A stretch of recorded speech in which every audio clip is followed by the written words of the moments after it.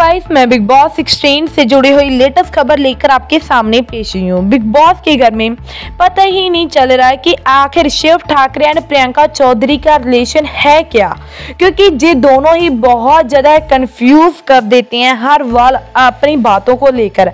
बात ये होती है कि वीकेंड के वार पर जो कि इनमें टास्क करवाया जाता है, जिसमें कड़वा पानी पिलाना होता है और पागल बताना होता है।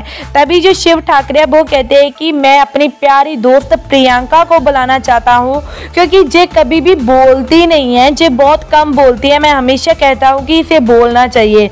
जिसको सुनकर प्रियंका चौधरी बहुत ज़्यादा हंस रही होती है और उसके टैग को अपने ऊपर एक्सेप्ट कर रही होती है। और उसी के बाद जो शिव ठाकरे वो कहते हैं कि जे इसका ना अलग ही फंडा चलता रहता है। जब कोई मुद्दा होता है ना, इस जे मुद्दे को इतना ज़्यादा घड़ीसती है कि तीन चार घंटे लगातार उस पर जे बातें करती रहती है, जो कि मुझे बिल्कुल अच्छा नहीं लगता।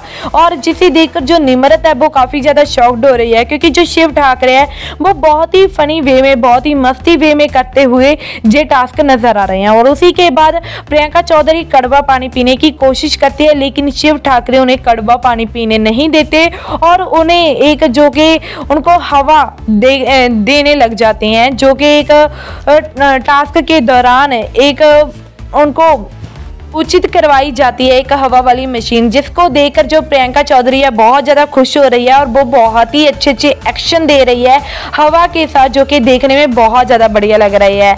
आई होप आपको भी शिव ठाकरे एंड प्रियंका चौधरी का जो खट्टा मिट्टा रिश्ता बहुत ज़्यादा अच्छा लगता होगा। अगर वीडियो अच्छी लगी तो प्लीज़ वीडियो को लाइक एंड चैनल को सब्सक्राइब नहीं किया तो प्लीज़ जल्दी से जल्दी कर दीजिए। धन्यवाद।